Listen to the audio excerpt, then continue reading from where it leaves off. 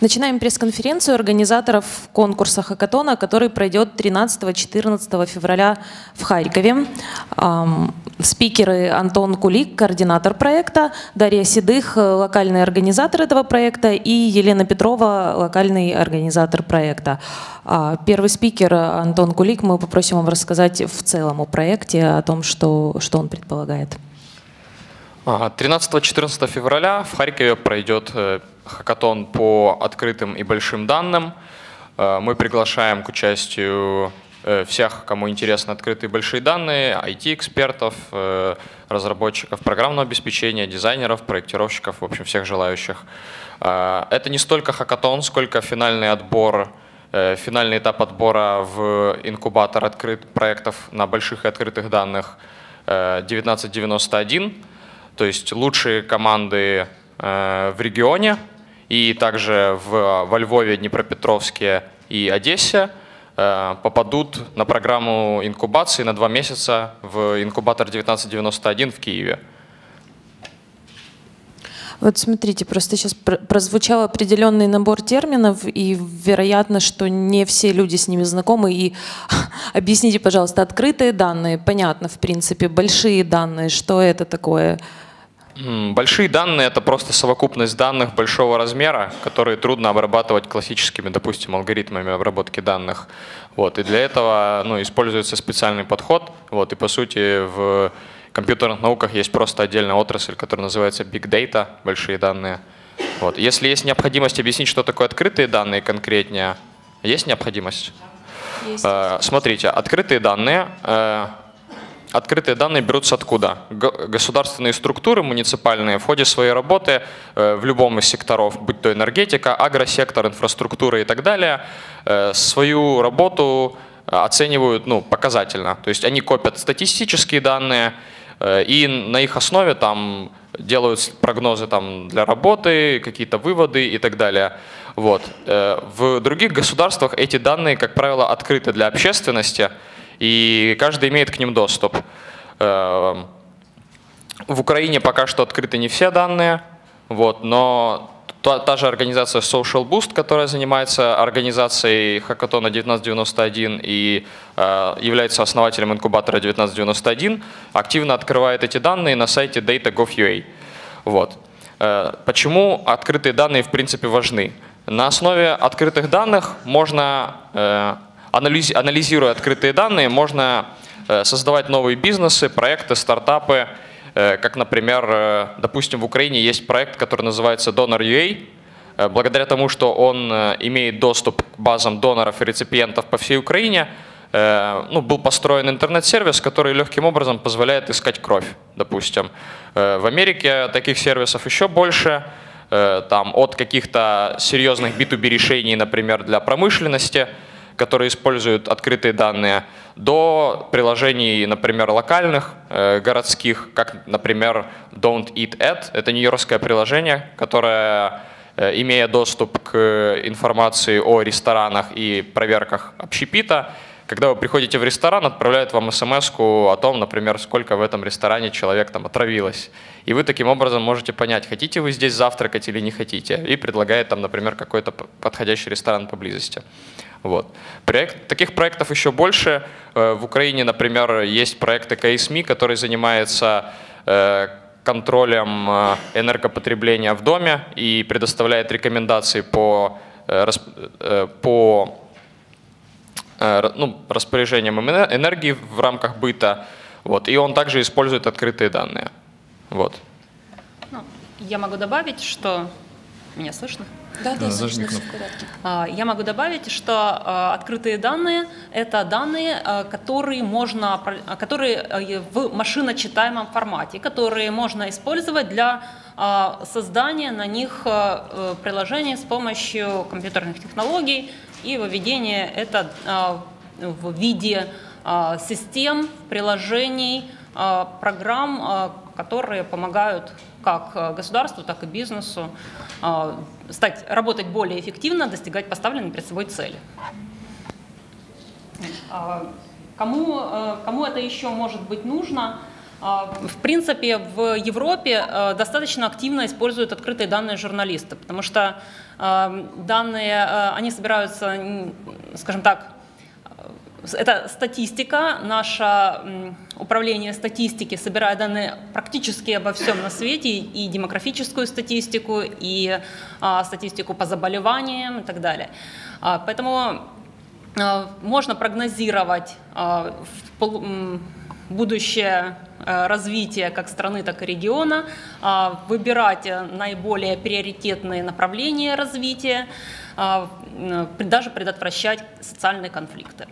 А что касается бизнеса, а, для бизнеса тут э, очень широкий спектр возможностей. К сожалению, в Украине он еще не реализован. Практически э, никто еще не умеет работать с, этими. Э, с такими данными, а, поэтому сложно оценить их, их ценность.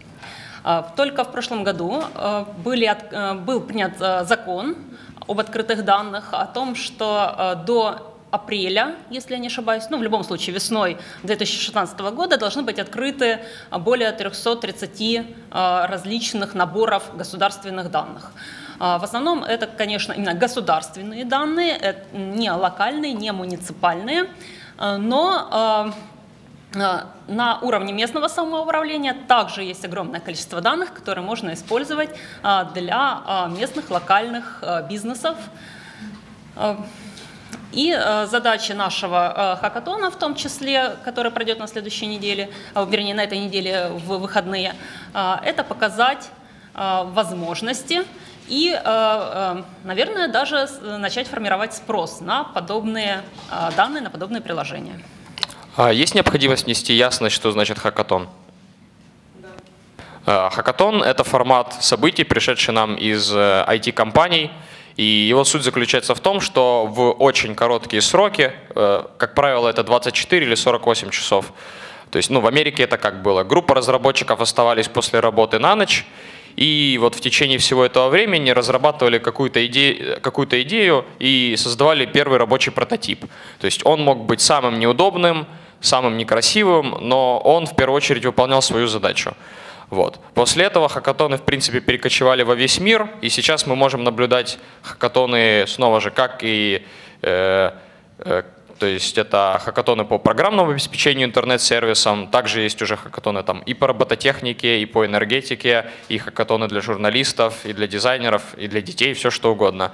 Но суть в том, что это ограниченный, это, как правило, опять же, 48 часов, и суть в том, что э, участники должны создать прототип э, какой-либо идеи, которую они, с которой они либо придут на хакатон, либо которую они уже ну, на нем придумают там, в рамках, например, дискуссии в первый день.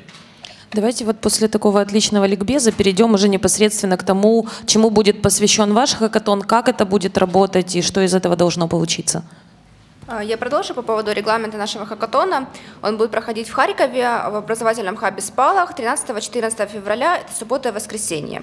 А, в субботу 13 февраля команды будут формироваться. В хакатоне могут участвовать как сформировавшиеся команды, которые подаются на проект, так и специалисты в разных а, областях. Это маркетологи, это IT-специалисты, безусловно, это юристы, которые могут работать с открытыми данными, которых нет своих команд, но хотели бы принять участие в определенном проекте.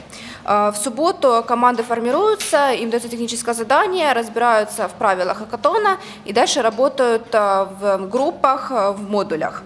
Э, предусмотрено 4 работы в группах, 4 модуля. 3 будет в первый день и во второй день продолжение. Во второй день, в воскресенье, будет две презентации. Первая презентация будет для жюри, она будет проходить 14.30. Вторая презентация будет публичная для гостей хакатона, для прессы, для всех желающих послушать наработки команд. Она будет проходить в 18.00 и в 19.00 будет награждение победителей. Э, команды победителей уедут на, инкубационный период в инкубатор в Киев на месяц э, с февраля по в конец марта в инкубатор 1991, в котором они будут доводить свои прототипы, свои проекты до завершающего этапа, до того момента, когда они могут выходить в мир, то есть они могут быть использованы. Да, то есть командам победителям будет предоставлена в рамках программы инкубации доступ к менторам и экспертам в разных направлениях, от там, дизайна интерфейсов и пользовательского взаимодействия до бизнес-процессов, до технологий и так далее. Также офис в центре Киева со всеми удобствами, офис А-класса, также помощь с поддержкой от государства и помощь в привлечении финансирования. И хотелось бы остановиться на темах, которые, э, на темах проектах, которые можно подавать, которые будут, э, подавать можно любые проекты, но приоритет будет отдаваться следующим направлениям. Это э, энергоэффективность, это государственные услуги, различные сервисы City умного города, да, это работа в основном с коммунальными данными, и агросектор – есть ли у кого-то вопросы? Я тогда, пока формируются вопросы, я бы хотела еще сделать акцент на а, социальной значимости а, данного проекта, данного инкубатора и, в принципе, работы с открытыми данными. А, открытые, а, любые данные, а, которые открываются, любые государственные данные, которые открываются, они повышают прозрачность управления государством. В принципе, это а, снижает создает возможность снижения коррупционной составляющей в ряде, а, ну, скажем, в ряде услуг, в ряде направлений. А, за последние два года мы видим очень большую активность граждан Украины, как просто граждан, да, так и бизнеса и э, в данном случае очень много людей хотят приобщиться к созданию чего-то нового, построению новой страны, э, внесению изменений в то, что у нас было на протяжении э, более чем 20 лет. И мы видим это проявление такого стремления как в помощи армии в ВПЛ, а также и, например, в таких а, а, проектах, как iGo4QA, а, проект по автоматизации государственных услуг. В данном случае это еще одно направление, где каждый может принять участие в каких-то реальных проектах и действительно изменить ситуацию в стране или в своем населенном пункте к лучшему. Дополняя Елену, а, вот с другой стороны можно посмотреть на социальную значимость этого проекта. С одной стороны, эти сервисы будут полезны для государства, для облегчения нашей социальной жизни. С другой стороны, есть запросы от а, стартап-движения Харькова. Например, на прошлой неделе в Харькове проходил стартап Europe Week. Это всеевропейская неделя стартапов, которая впервые проходила в Украине и проводилась в нашем городе. Организаторы э, сделали четыре воркшопа тематических. Первый был посвящен созданию и ведению бизнеса в Украине и выход на европейские рынки – Э, применения европейских практик. А второй воркшоп был посвящен э, созданию стартап-движения в сфере э, литературы и СМИ, третий воркшоп в сфере креативной экономики и последний в IT-сфере. На каждом мероприятии было порядка 50 участников, причем это не просто люди, которые пришли послушать, а действительно желающие создавать свой бизнес. И такое направление, как работа с большими данными, работа в сфере государственно-частного партнерства, до этого, может быть, не слишком рассматривалось, но тем не менее, как вот отметили мои коллеги, это направление приоритетное. И с учетом того, что есть энергия запроса от э, команд движения Харькова и возможность работать в этой индустрии, мы считаем, что такой хакатон и, в принципе, такие проекты будут очень релевантны для нашего города. Да, и по сути, из-за, в силу того, что открытые данные и реестры были закрыты на протяжении уже более чем 20 лет и начали открываться только с прошлого года, э, точнее с этого в прошлом году был принят закон об открытых данных, сейчас в Украине формируется по сути огромный рынок, экономический, который э, построен на открытых и больших данных. То есть те данные, которые в течение этого года и далее будут открыты, позволят создать тысячи и десятки тысяч разнообразных интернет-сервисов, бизнесов, стартапов и так далее. Появились ли у кого-то вопросы? А могли бы рассказать, есть ли какие-то критерии э, подбора участников, есть ли какие-то ограничения и сколько уже заявок поступило?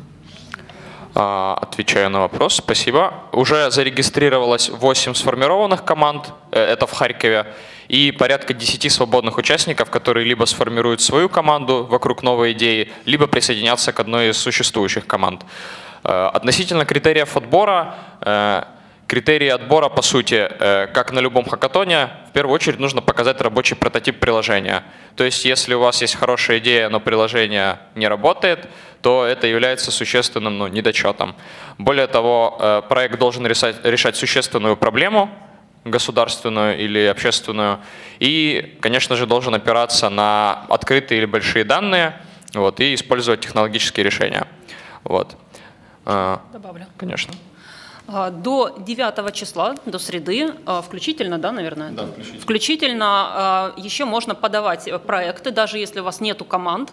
Мы призываем представителей бизнеса, общественников, представителей общественных организаций, представителей государственных органов, в том числе и особенно их, подавать свои проекты, которые бы которые они хотели бы, чтобы были реализованы. Если на данный момент таких э, данных для того, чтобы реализовать эти идеи нету, то организаторы, э, киевские организаторы э, при поддержке премьер-министра, Кабинета министров Украины, они постараются получить эти наборы данных, пусть это будут государственные или муниципальные данные. А что ждет финалистов вот после этого инкубатора, который будет длиться целый месяц? Что будет потом? А, ну, во-первых, они в течение программы инкубации смогут взглянуть заново на свой проект, получить обратную связь от экспертов в бизнесе и технологиях, а, проверить спрос, вступив в диалог с государственными службами, вот, и в итоге э, в случае успеха получить, получить финансирование. Есть ли еще вопросы? Кого, вопрос от кого, да? А, дело в том, что в э, инкубаторе, э, в работе этого инкубатора будут принимать участие также бизнес-ангелы, а, будут принимать участие инвесторы, то есть компания будет достаточно широкая, поэтому а, проекты будут э, выноситься на обозрение тех, кто может внести инвестиции. То есть, если я правильно понимаю, пока никаких конкретных сумм на воплощение проекта в жизнь нет у организатора? А, сложно ответить на этот вопрос, он, возможно, требует уточнения, однако ну, э, конкретная сумма э, вложений обсуждается непосредственно с проектом и с основателями проектов. То есть э, есть, ну не опасность, а вариант того, что победитель инкубатора с дорогостоящим Э, проектом своим может э, пролететь, мягко выражаясь, мимо, потому что инвесторы не соберут определенную сумму. Это не конкурс проектов, когда есть, допустим, какая-то организация донат, да, которая дает деньги, и она ищет под себя проект. Тут другая система. Тут есть сначала проект, и под проект ищется финансирование. Это нормальная э, экосистема создания бизнеса. Когда есть идея, под идею ищутся финансы. Э, после хакатона в инкубаторах обычно проблем с финансированием нет. Поэтому э, варианта того, что стоящий проект не найдет инвестора, не рассматривается. Рассматривается вариант, что проект не сможет стать таким, который заинтересует инвестора инвестора. Но так тогда нет смысла и вкладывать в этот проект, если он не сможет пройти тест э, во время этого инкубационного периода. В этом ценность. У меня вопрос еще один. А вот кто занимается в итоге поиском денег э, под проект? Э, этих людей, авторов проекта, их обучат в инкубаторе, в том числе и искать деньги, или как-то по-другому это работает? А, получается, по, с помощью привлечения с привлечением финансирования помогает организация Social Boost, которая, в принципе, э, является э, организатором, создавшей инкубатор 1991. Плюс э, среди партнеров инкубатора есть венчурный фонд, который выделил грант, в принципе, на создание инкубатора и который, возможно, будет финансировать эти проекты.